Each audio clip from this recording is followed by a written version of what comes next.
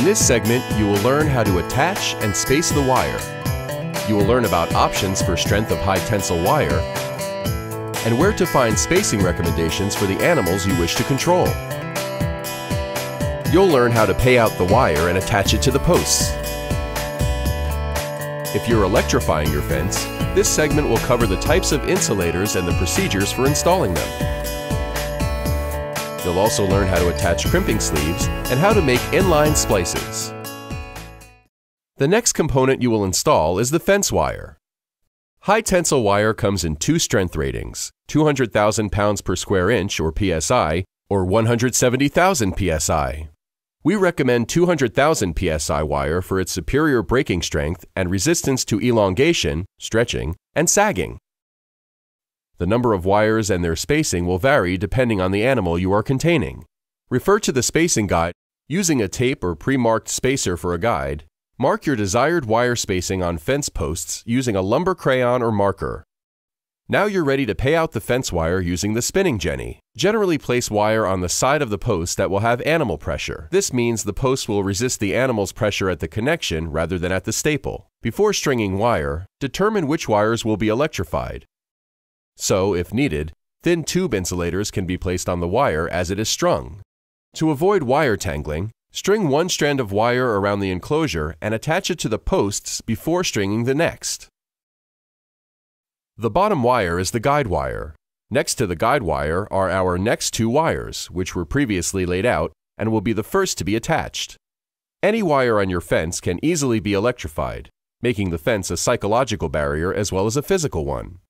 One electrified wire should be positioned at the animal's nose height, causing it to back up if it touches the fence wire. You have several options to insulate the electrified wires at the line posts to prevent voltage loss. Thin tube insulator, porcelain insulators, and plastic insulators. The first option is a thin tube insulator, which are the most commonly used insulators for high tensile fences and can be used on wood posts. These 4-inch hollow tubes have fins on the outer edge, which holds them in place on the post while allowing the wire to move freely through the tube. These tube insulators should be put on the wire before both ends are attached. Simply place the insulators on the wire as you pay it out.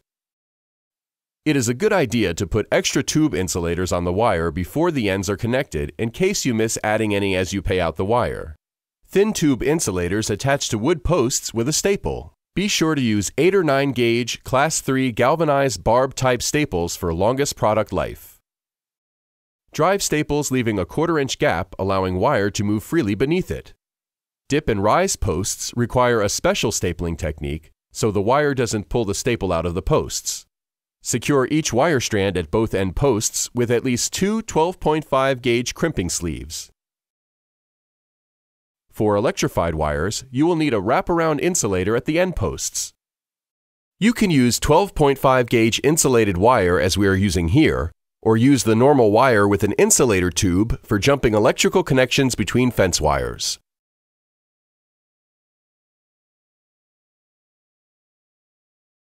If you forget to add additional crimping sleeves, you can also use a wire tap as we are using here. Crimping sleeves are crimped onto the wire using the specialized crimping tool. Crimping sleeves are made from high-grade aluminum with a carborundum grit inside to prevent the wire from slipping through. This connection provides the same strength as the wire itself. Position the sleeves directly next to each other for maximum holding strength.